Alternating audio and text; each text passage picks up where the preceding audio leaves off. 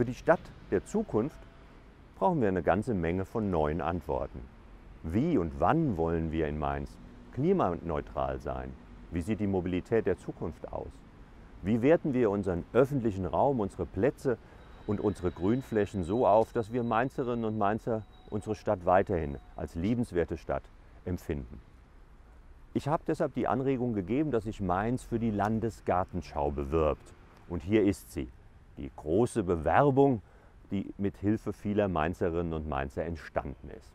Und wir verknüpfen diese Bewerbung und diese wichtigen aktuellen Fragen mit unserem baukulturellen Erbe. Deshalb spielen die Flächen mit der Zitadelle, aber auch mit dem römischen Theater hier eine große Rolle. Und zugegeben, auch das braucht eine Aufwertung in Zukunft. Was fehlt uns? Dass wir diese Bewerbung pünktlich zum 15. Oktober abgeben. Und ich glaube, wir schicken sie jetzt mal heute auf die Reise.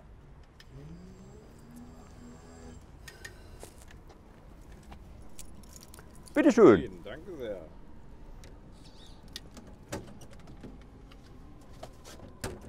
Und dann sind wir weg. Tschüss.